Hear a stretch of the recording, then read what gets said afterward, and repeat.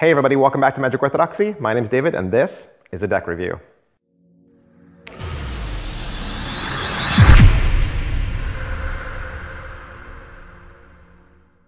Hey, today we're going to look at the Black Artifice deck from Ellusionist.com. What is the Black Artifice deck? Uh, it was a Black Club member exclusive. And so if you're not familiar with the Black Club, it's uh, Ellusionist's exclusive card club. Uh, I don't know if they're still doing it, but it, it was something popular a while back. Um, these were released exclusively through the Black Club, and so you actually couldn't get them unless you were a member. And so that kind of made them hard to find cards and made them a little bit more valuable.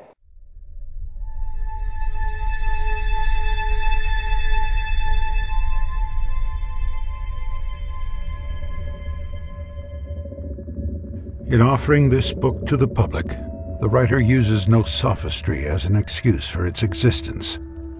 The hypocritical cant of reformed gamblers, or whining, mealy-mouthed pretensions of piety, are not foisted as a justification for imparting the knowledge it contains. To all lovers of card games, it should prove interesting, and as a basis of card entertainment, it is practically inexhaustible. It may caution the unwary who are innocent of guile, and it may inspire the crafty by enlightenment on artifice. It may demonstrate to the tyro that he cannot beat a man at his own game, and it may enable the skilled in deception to take a postgraduate course in the highest and most artistic branches of his vocation.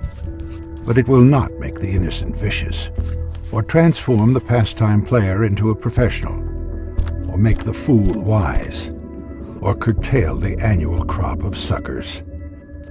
But whatever the result may be, if it sells, it will accomplish the primary motive of the author, as he needs the money.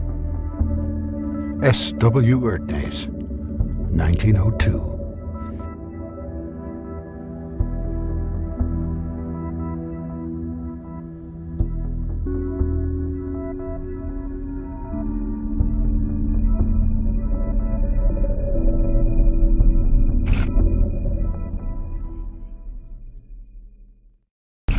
The front of the tuck case is a little different than the standard Artifice deck. Um, it does say Artifice and it does say the Black Club down here at the bottom.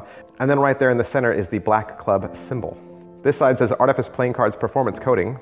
The other side says the Ellusionist Playing Card Company. The bottom has some ad copy about ellusionist.com. The top of the tuck case has a phrase written in Latin.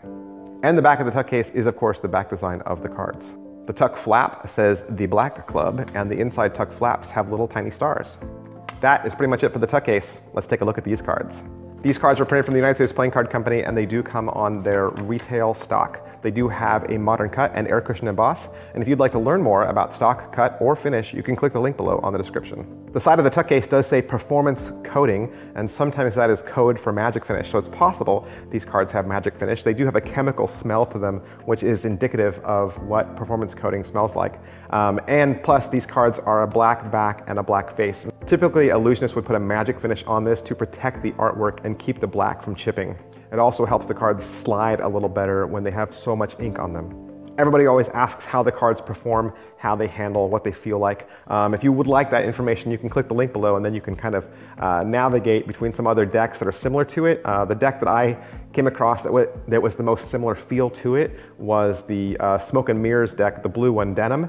And so it's kind of um, in that shade, kind of in that same compression. The back of the cards is of course the Artifice design. Uh, the Artifice cards uh, were a series of cards that were drawn by Lee Mackenzie, who was a former Ellusionist artist.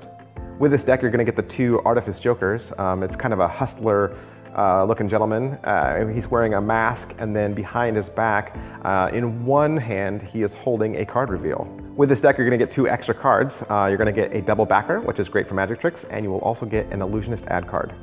Because this is a Black Club member deck, uh, your Ace of Spades is actually small and normal. It's the Ace of Clubs that is um, blown up and bigger. It's because the um, Black Club symbol kind of resembles a club.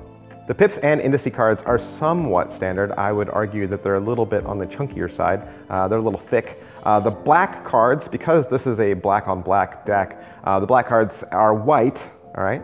And the red cards are almost like a smoke or mist so they're not really a color, they're kind of more like a shadow. The court cards are all completely original and they are indicative of Lee Mackenzie's famous artwork. All right, so that is it for my review of the Black Artifice cards from ellusionist.com and drawn by Lee Mackenzie. If you would like to purchase your own, you can find them at ellusionist.com. As always, we recommend that you like this video just so other people can find it faster. We also recommend that you subscribe to this channel just to stay up to date on the latest in cards and card magic. If you want to follow me on social media, you can. I'm at facebook.com slash magicorthodoxy, twitter.com slash magicorthodoxy, instagram.com slash magic underscore orthodoxy. And if you need more content, you can always find it at magicorthodoxy.com. Thanks. Bye.